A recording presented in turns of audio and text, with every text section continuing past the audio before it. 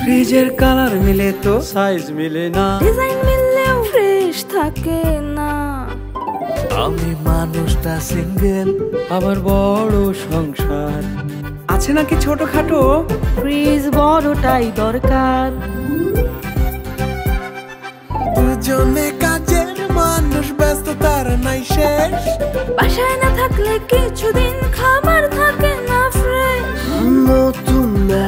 ওটা চুজি ভীষণ। আর